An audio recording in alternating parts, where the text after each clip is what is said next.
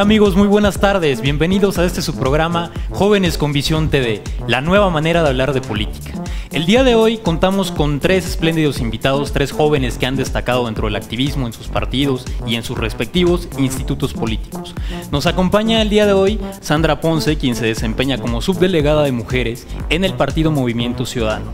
Nos acompaña también la señorita Karina Pantoja, quien es militante del Partido Revolucionario Institucional y quien forma parte de la red Jóvenes por México. Y también contamos con la presencia de Andrés Zavala, quien es estudiante de la UTM y también es miembro del Consejo Nacional de Estudiantes del Partido Acción Nacional.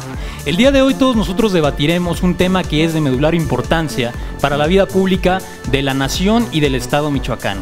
¿Qué tema nos referimos? Al tema del comisionado integral para el desarrollo de Michoacán, el licenciado Alfredo Castillo. Vamos a debatir desde las distintas ópticas partidistas y desde las distintas ópticas que tiene la sociedad civil para lograr llegar a acuerdos y formular una visión de los jóvenes en esta nueva manera de hablar de política.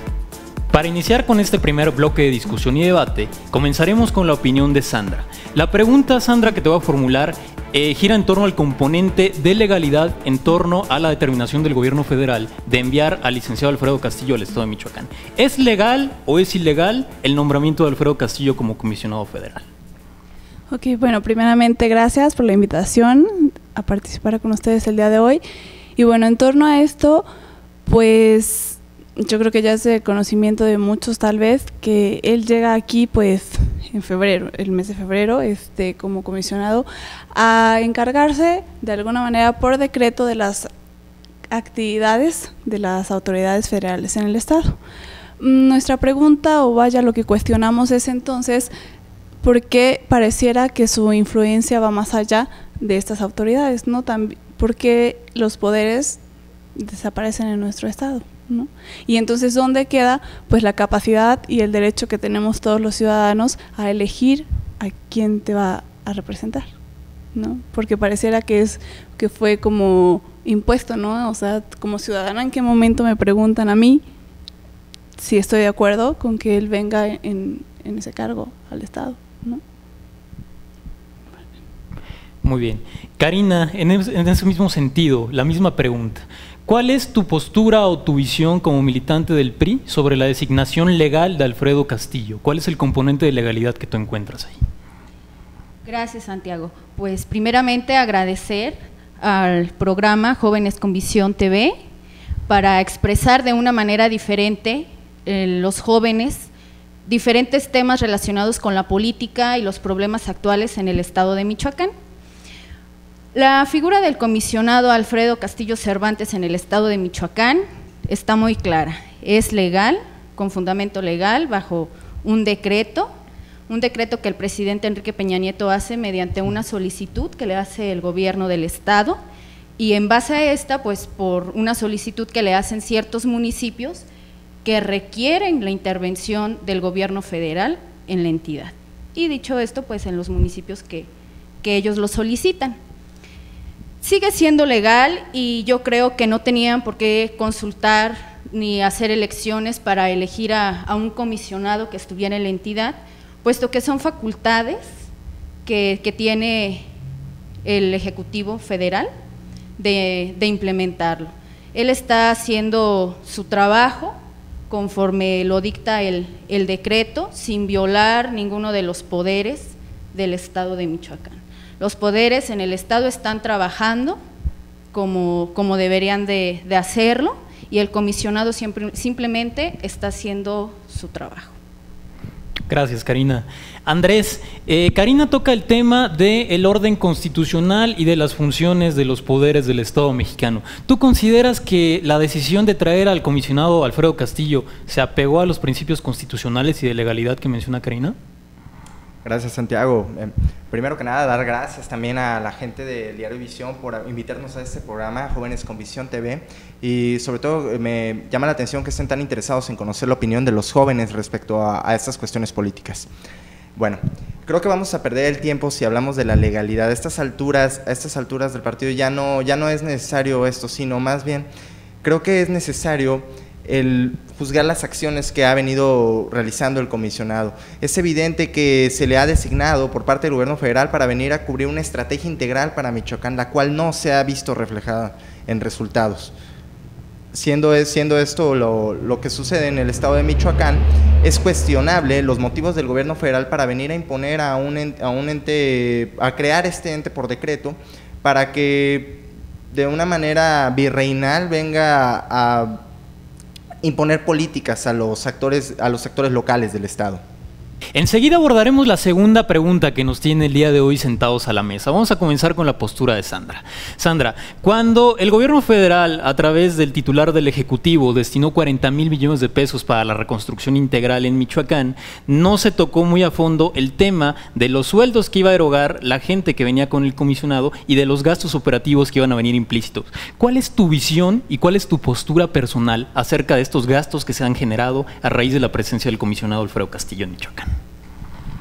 Bueno, pues en primer lugar creo que esa inversión destinada para Michoacán es de antemano, o sea, ya está etiquetada, ¿no? Ya es inversión que le corresponde y me parece que la cuestión de los salarios son innecesarios.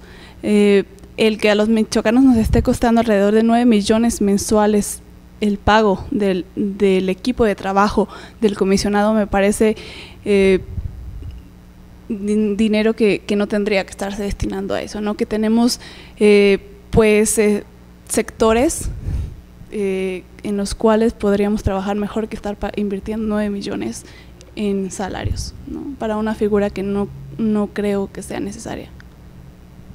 Gracias, Sandra. Karina, eh, Sandra habla de 9 millones de pesos que se erogan en todo el equipo logístico de seguridad del equipo integral que viene con el comisionado. ¿Están bien gastados esos 9 millones, esos 9 millones de pesos del erario público?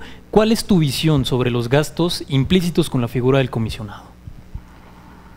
Mira, respecto a este tema, lo que te puedo comentar es que efectivamente los 9 millones que mensualmente se gastan en los salarios primeramente del comisionado como al frente de esta comisión y los servidores que, públicos que él tiene, tiene a su mando.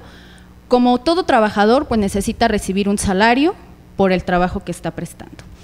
Este salario viene, no viene etiquetado para dentro del gasto del, para el Estado, sino que viene directamente de la Secretaría de Gobernación este dinero se lo etiqueta el secretario de Gobernación, Miguel Ángel Osorio Chong, y no, es precisamente nada más para los gastos de, los salarios, no tiene nada que ver con, el, ahora sí con gastos etiquetados o recurso etiquetado más bien para, los trabajos dentro de la entidad, para las diferentes secretarías o, delegaciones federales, sino que es un pago al, servicio que estos prestan al trabajo.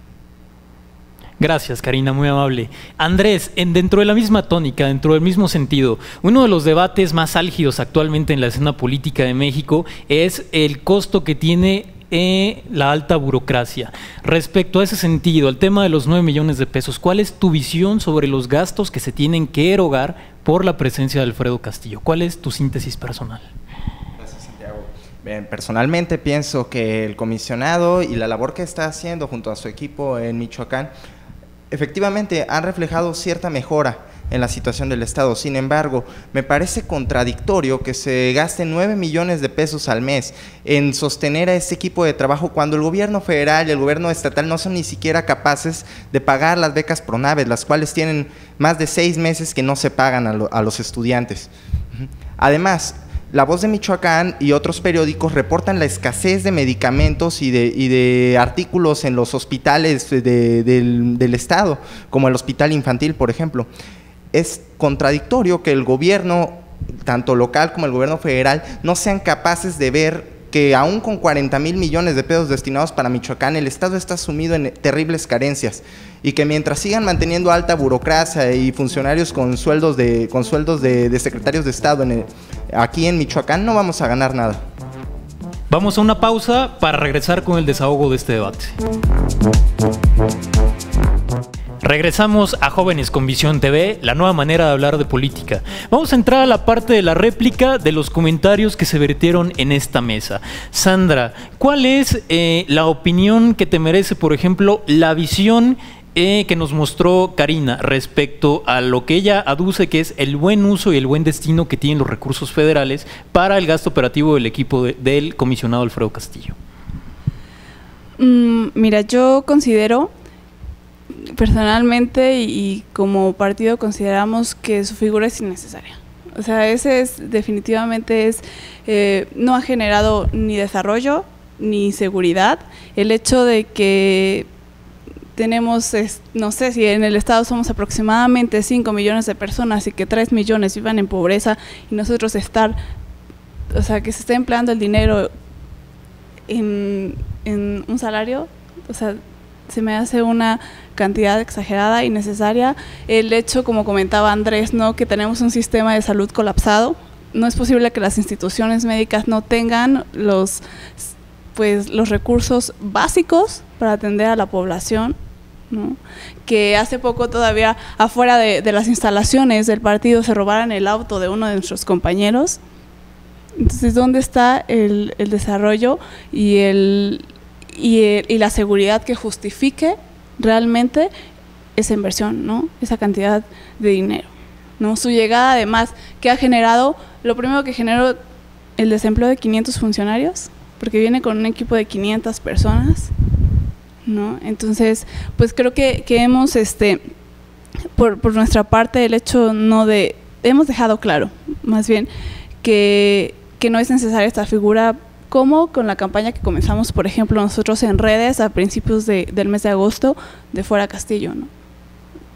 ¿De qué otra manera podemos este, manifestar también nuestra, mm, pues el que no estamos de acuerdo con esto, ¿no? ¿Por qué? Porque con papeles a lo mejor pasan y sabemos que como muchos otros llegan las solicitudes o los oficios y solamente pasan a ser archivados. Gracias, Sandra, muy amable. Karina, dice Sandra, representando a cierto sector de su partido fuera Castillo, con la campaña de eh, este partido de izquierda. ¿Qué opinión te merece la réplica que acaba de presentar la compañera? Mira, Santiago, muy respetable el, comentario y la participación de, mi compañera Sandra. Este, sabemos y, nos percatamos en, durante las redes sociales de la campaña que, que estaban emprendiendo. Pero ante esto yo me pregunto que, bueno, me, yo me, me he hecho la pregunta de que no es, no es cuestión nada más de que los resultados y que la inseguridad y que la pobreza en Michoacán ha crecido, no ha disminuido, que al contrario los comentarios que se dicen, no es problema ni del trabajo que está realizando la federación y aquí el comisionado, sino son problemas que tienen muchísimos años atrás que ahorita de alguna manera están saliendo a flote porque sabemos que no hay recursos suficiente en las dependencias de gobierno, en las secretarías de, gobierno aquí en el Estado. Los recursos que, que se tienen apenas alcanzan para pagar poco de la deuda que han dejado las administraciones pasadas. Entonces yo creo que no es un problema el que, el que exista la pobreza en Michoacán, el que la inseguridad de que el comisionado Castillo se dice que no da resultados, no es un problema del comisionado ni de la federación. Son problemas que se vienen arrastrando de, de gobiernos anteriores. Gracias, Karina. Andrés, en ese sentido, menciona Karina el lastre económico y financiero arrastrado por administraciones anteriores. Sobre esa tónica discursiva, ¿nueve millones de pesos al mes sí influyen o no influyen? Dentro del marco del contexto de la deuda del, del Estado de Michoacán, ¿es mucho o poco dinero? ¿Qué se puede hacer con esos nueve millones de pesos si no se destinaran para el equipo de Alfredo Castillo? Evidentemente podríamos, bueno, gracias Santiago, evidentemente lo primero que podríamos hacer con esos 9 millones de pesos sería liquidar los pagos de las becas que se adeudan a los jóvenes estudiantes. Y bueno, discrepo con lo que comenta mi compañera del Partido Revolucionario Institucional, porque el comisionado Castillo está aquí para encargarse de áreas en específico que venían en el plan de desarrollo que presentó Enrique Peña Nieto para, para poder revitalizar Michoacán. Entre estas estaba la educación, estaba la, ciencia y la tecnología. Si no se le van a medir resultados, entonces ¿para qué nos presentan una estrategia? ¿Para qué gastan este dinero si no vamos, si nos van a pedir que no, eh, no, no les exijamos resultados? Por supuesto, los ciudadanos tenemos todo el derecho a exigir resultados de estos servidores públicos. Si estos son ineficientes, tenemos el derecho, como lo ha hecho ver la compañera del partido Movimiento Ciudadano, a exigir la, a exigir la salida de estos mismos. Desde mi particular punto de vista, no entiendo lo que nos viene a vender el PRI en Michoacán. ¿Qué nos venden? Las administraciones que han dejado una deuda, si bien ha sido de Leonel Godoy Rangel, esa administración del PRD, también no se han aclarado el destino de 16 mil millones de pesos de las administraciones de Fausto Vallejo y de Ángel, de, perdón, de Jesús Reina. De Jesús Reina, ¿qué nos quiere vender el PRI aquí en Michoacán? Piden que no les, que quieren que no les exijamos resultados y nos pagan con más corrupción. Sandra, ¿Cuál es el balance que darías tú sobre la presencia de Alfredo Castillo? ¿Ha habido pros, ha habido contras? Y sobre todo, un tema central en la agenda pública. ¿Qué ha pasado con la seguridad a raíz de la presencia del comisionado federal? Gracias, Santiago. Pues mira, no sé, suponiendo que si entonces este, todas ya cumplió de manera eficiente con los objetivos del programa Michoacán Juntos lo lograremos, que es bajo el cual él es nombrado comisionado para el Estado yo me pregunto entonces, ¿cuál es su papel ahora? ¿Qué sigue haciendo aquí? Si entonces ya vemos la armonía, eh, la seguridad, el desarrollo en las calles, ¿qué hace aún aquí el, comisionado? Y bueno, las cifras, por ejemplo, del Sistema Nacional de Seguridad Pública, en un informe que, que redactó de, enero a junio del presente año, pues ahí vemos ¿no? que los homicidios, los secuestros, las extorsiones han incrementado para el Estado de enero a julio, ¿no? que, es, que es el periodo ya que abarca la estancia del comisionado aquí. Entonces, pues yo lo dejo así, ¿no? O sea, si realmente pues vemos, ¿no? Ya los avances que su papel ha sido eficiente en este estado, pues entonces ¿qué ahora qué va a hacer, ¿no? Gracias, Sandra, muy amable. Gracias por tu opinión. Karina, eh, la misma pregunta, ¿cuáles son los pros, cuáles son los contras y cuál es el balance o la visión que tú tienes respecto a la agenda de seguridad en Michoacán con la presencia de Alfredo Castillo? Gracias, Santiago. Respondiendo a la pregunta que, que muy atentamente me haces, yo veo que, que Alfredo Castillo, el comisionado, ha creado un ambiente más de confianza para los ciudadanos en Michoacán, puesto que ellos ya se han dado la confianza para hacer denuncias de extorsión, de secuestros, de algún delito de los que han sido sometidos. Esto genera, obviamente, que las cifras que presenta nuestra compañera Sandra, pues sean un poco elevadas. ¿Por qué? Pues porque las denuncias que efectivamente se han hecho mediante el plan de trabajo en seguridad que nos trae la Federación a través del comisionado Alfredo Castillo.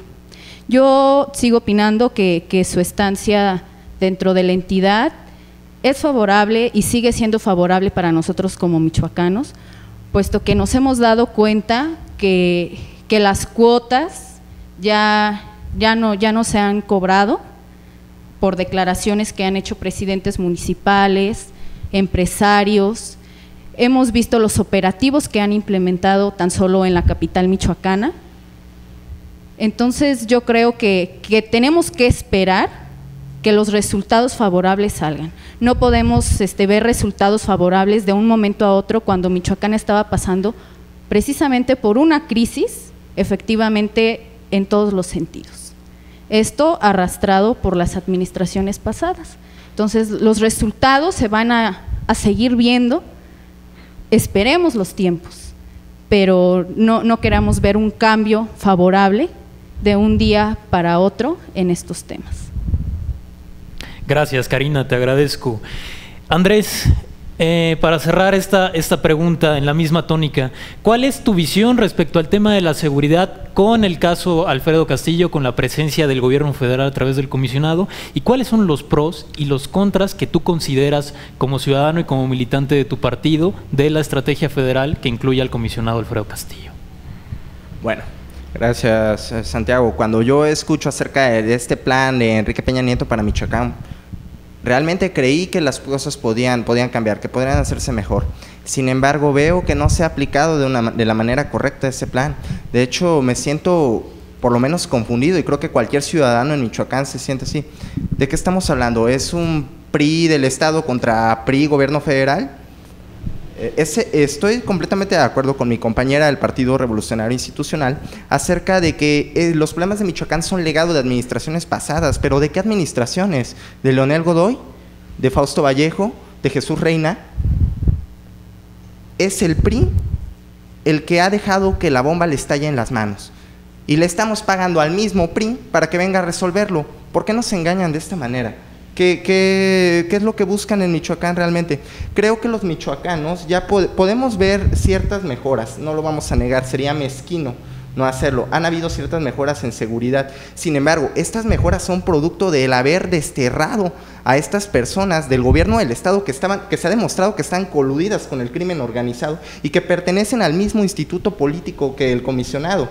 Entonces, ¿quiénes son los buenos? ¿Quiénes son los malos? ¿Qué, qué es lo que está pasando realmente en Michoacán? Es una pregunta que los ciudadanos nos hacemos todos los días. Me gustaría ver que efectivamente se pudieran cumplir los, eh, los, planteamientos de este proyecto de Enrique Peña Nieto, del presidente, para, para Michoacán. Sin embargo, como ciudadano, me cuesta, aún dándoles el beneficio de la duda, ver resultados favorables.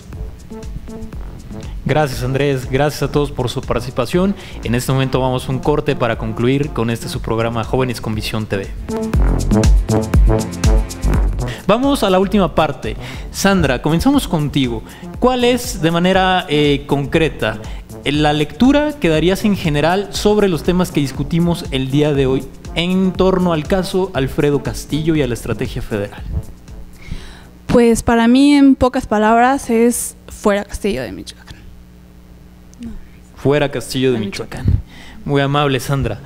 Karina, Sandra eh, fue muy tajante. Fuera Castillo de Michoacán, ya lo habíamos tomado en cuenta con la expresión de su instituto político. ¿Cuál es precisamente la reacción que te generan este tipo de eh, discursos, de diálogos que algunos sectores políticos vierten sobre la figura del comisionado? ¿Y cuál es tu conclusión respecto a la estrategia federal en Michoacán? Gracias, Santiago. Pues es respetable las diferentes opiniones de de aquí mi compañera Sandra, de mi compañero Andrés, así como de sus institutos políticos a los cuales ellos, ellos militan y, en los cuales ellos trabajan. Pero Alfredo Castillo seguirá en Michoacán hasta que ahora sí que la federación, a través de la Secretaría de Gobernación, que lo designaron, él es el único que podrá removerlo, en su caso darle las gracias y que se retire de la entidad de Michoacán. Pero este, yo estoy segura que todavía durante su estancia vamos a seguir teniendo o se van a seguir reflejando los resultados que esta estrategia de seguridad o, la comisión que, se formó, la cual encabeza Alfredo Castillo para la seguridad e integridad del Estado de Michoacán, pues se va, se va a ver reflejada con los buenos resultados y las buenas acciones que van a ir emprendiendo con la Federación y el Estado como siempre, pues haciendo un buen equipo como debe de ser a través también de los, de los municipios. Gracias, Karina, muy amable. Andrés, eh, ya se dijo en esta mesa, por ejemplo, la postura de Sandra fuera Castillo de Michoacán. Ya dijo Karina en su postura personal que Castillo se tiene que quedar hasta que el gobierno federal así lo determine. ¿Cuál es la lectura y el análisis entonces final que tú realizas sobre lo que se ha vertido en esta mesa de debate y de análisis? Gracias, Santiago también muy respetable las opiniones de, Karina y la, opinión de Sandra. Sin embargo, creo que esto va más allá. Lo que nosotros como ciudadanos michoacanos podemos exigirle al comisionado y debemos exigirle al gobierno federal y al gobierno estatal es la procuración de unas elecciones limpias para el 2015. Ya conocemos todos la historia de las pasadas elecciones para el gobierno del estado y la injerencia de grupos criminales en estas. Ahora, lo que necesitamos en Michoacán es que este comisionado, que el gobierno federal nos puedan proporcionar un escenario para que haya unas elecciones limpias, para que los michoacanos tengamos nuevamente la libertad de decidir quién nos gobierne y no cederle esta potestad al gobierno federal. Los michoacanos tenemos la oportunidad para este próximo año de elegir un gobierno diferente, tenemos la oportunidad de elegir cómo queremos que se hagan las cosas, cómo vamos a realizar este combate contra el narcotráfico, cómo vamos a realizar este combate contra la corrupción, el cual, a pesar de, lo, de los progresos que se han mostrado, deteniendo a ciertos funcionarios relacionados con, el narcotráfico, y esto mediante pruebas irrefutables, tampoco se ha hecho nada con el caso de la alcaldesa de Huetamo o de la alcaldesa de, de Pátzcuaro entonces, necesitamos que pongan las cosas claras, tanto el gobierno federal como el gobierno estatal, y se decidan de una vez por todas a procurarnos un escenario limpio para que los michoacanos podamos decidir una vez más el destino de nuestro estado. Gracias Andrés, gracias eh, Karina, gracias Sandra. Sin duda alguna, un tema muy polémico que tiene muchos aristas y que tiene una gran complejidad, el tema del comisionado federal Alfredo Castillo. De esta manera llegamos así al final de su programa Jóvenes con Visión TV, una nueva manera de hablar de política. Muchas gracias a todos por su compañía y nos vemos en la próxima ocasión.